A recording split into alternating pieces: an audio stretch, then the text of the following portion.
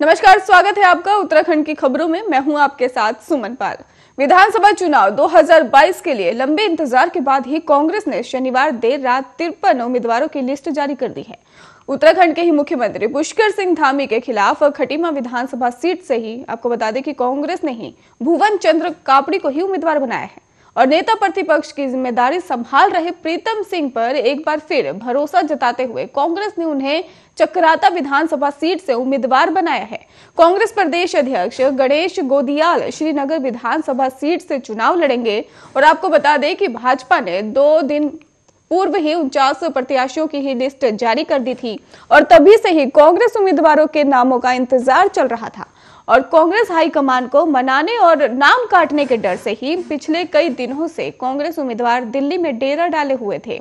अब दिलचस्प यह होगा कि भाजपा और कांग्रेस पार्टियों के ही प्रत्याशियों की दूसरी लिस्ट कब जारी करती है। और कांग्रेस ने भी शुक्रवार को 55 सीटों के लिए ही उम्मीदवारों के नाम तय कर दिए। वहीं सूत्रों के अनुसार, फ़िलहाल रामनगर लाल कुआँ हल्द और काला ढूँगी लेंसडोन और चोबट खाल और डोईवाला और देहरादून कैंट समेत पंद्रह सीट पर ही चर्चा जारी है। माना जा रहा है कि पहली लिस्ट शुक्रवार देर रात ही जारी कर हो सकती है, लेकिन हुई नहीं।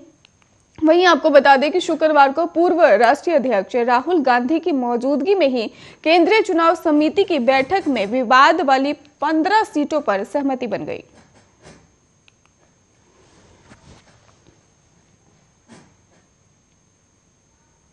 देश भर में सबसे पुरानी पार्टी कांग्रेस के पतन और राज्य में ही कम हो रहे जनादेश को ही लेकर उत्तराखंड के पूर्व मुख्यमंत्री हरीश रावत ने खुलकर बात की है।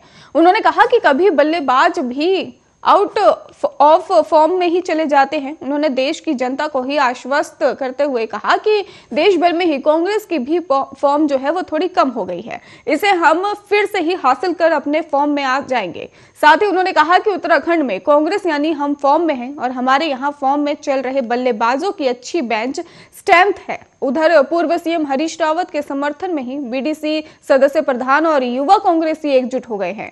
और सभी ने ही हरीश रावत को रामनगर से चुनाव लड़ने की मांग की है और नगर पालिका के ही चेयरमैन और कांग्रेस के प्रदेश महामंत्री का भी विरोध किया है। ब्लॉक में ही बीडीसी सदस्य प्रधान और यूथ कांग्रेस से जुड़े कार्यकर्ताओं की बैठक हुई। यूथ कांग्रेस के अध्यक्ष गोपाल अधिकारी ने बताया कि रामनगर से ही पूर्व मुख्यमंत्री हरीश रावत को आला कमान को टिकट देना चाहिए। कांग्रेस के प्रदेश कार्यकारी अध्यक्ष रणजीत सिंह रावत ने टिकट देने की मांग को लेकर ही गुरुवार को पालिका के चेयरमैन हाजी मोहम्मद अकरम को प्रदेश कांग्रेस महामंत्री किशोरी लाल ने प्रेस वार्ता की है। और इसके साथ ही आपको बता दें कि जिसमें रणजीत को ही टिकट न देने पर निर्दलीय चुनाव लड़ने की बात कही गई और जो गलत है, कहा जा, दोनों का ही पुरजोर विरोध किया जाएगा। वहीं पूर्व सभासद शिल्पेंद्र बंसल ने बताया कि पूर्व मुख्यमंत्री के चुनाव लड़ने से ही रामनगर की तस्वीर बदल जाएगी।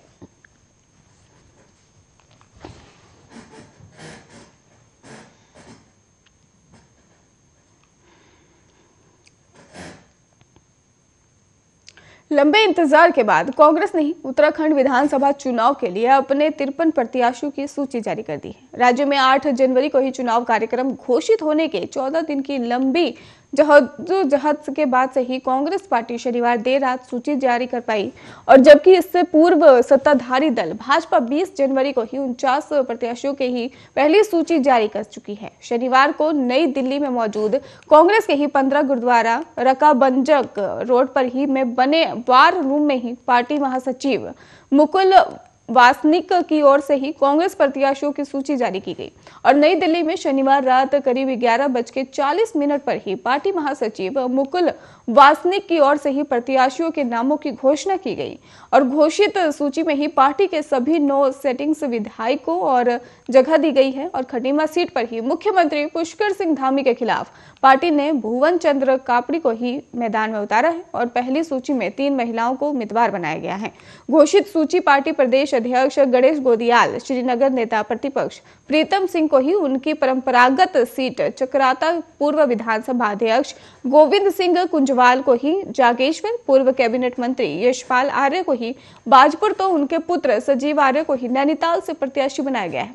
और इसके अलावा पार्टी की दिग्गज नेता रही दिवगत इंदिरा हदेश के ही पुत्र, सुमित हदेश को ही हल्द्वानी से ही प्रत्याशी बनाया गया